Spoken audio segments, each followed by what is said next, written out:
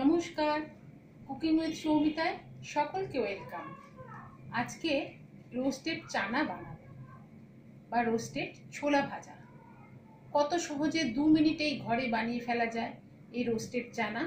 এটা বানিয়ে কন্টেনারে ভরে রাখো, আর এক থেকে দুই মাস রেখে খুব সহজেই খেতে পারবেন। খুবই হেলদি রেসিপি আর ভালো লাগলে লাইক ও কমেন্টের মাধ্যমে জানাবেন কিন্তু। নিত্য নতুন রেসিপি পেতে আমার চ্যানেলটি সাবস্ক্রাইব করুন। তাহলে চলুন, বানিয়ে ফেলি রোস্টেড চানা। রোস্টেড ছোলা ভাজার জন্য এখানে ছোলা নিয়েছি আর নিয়েছি নুন। এই নুনটা ব্যবহার করা নুন, যেটা এই ছোলা ভাজতে আমি মাঝে মাঝেই ব্যবহার করি। এটাকে ব্যবহার করে আবার রেখে দেওয়া যাবে। এই দুটো উপকরণে ছোলা রোস্ট করা হয়ে যাবে। রোস্ট করার জন্য প্রথমে কড়াইটা খুব গরম করে নিতে হবে। এবার এই নুনটা দিয়ে দিতে হবে। নুনটাকে খুব ভালো করে গরম করে নিতে হবে।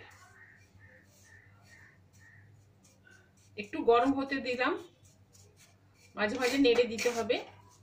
উপর নিচে করে নুনটাকে গরম করতে হবে। নুনটা প্রায় দশ মিনিট ধরে গরম করেছি। খুব ভালো করে গরম করতে হবে নুনটা কিন্তু। নাহলে ছোলা ফুটবে না। ছোলা ভাজা ভালো হবে না। এবার অল্প অল্প করে অল্প অল্প করে ছোলা দিয়ে নাড়তে হবে। সমানে নাড়তে হবে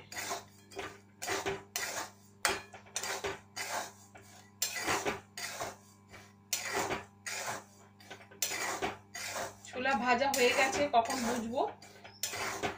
ছোলা যখন হয়ে যাবে, ফেটে ফেটে যাবে। খোলাটা ফেটে ফেটে যাবে। এই যে, দেখছেন? এই যে, সমানে নাড়তে হবে।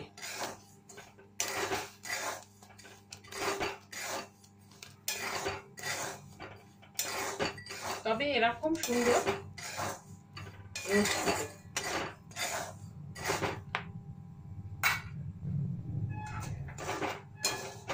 এবার এগুলো তুলে নিতে হবে।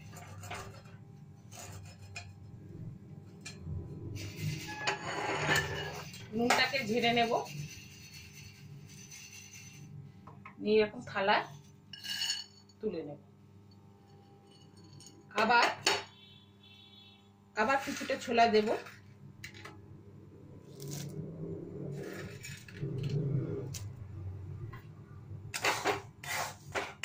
বাজারে একটু বড় দানার যে ছোলাটা পাওয়া যায়, সেটা নেবেন, তাহলে ঠিকঠাক ফুলবে। একদম একটু ছোট দানার যেটা পাওয়া যায়, সেটা কিন্তু বিশেষ ফুলতে চায় না। ভালো মুচমুচে হয় না সেটা। এভাবে সমানে নাড়তে হবে।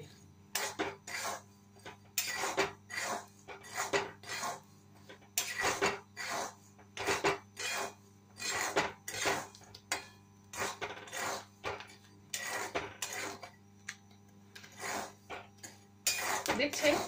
কীরকম? খোসাগুলো ফেটে ফেটে যাচ্ছে।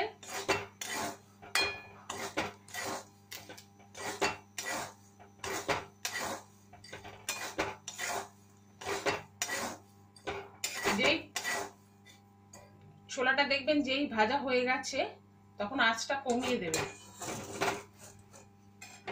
এইভাবে সমস্ত জিনিসটা তুলে নিতে হবে।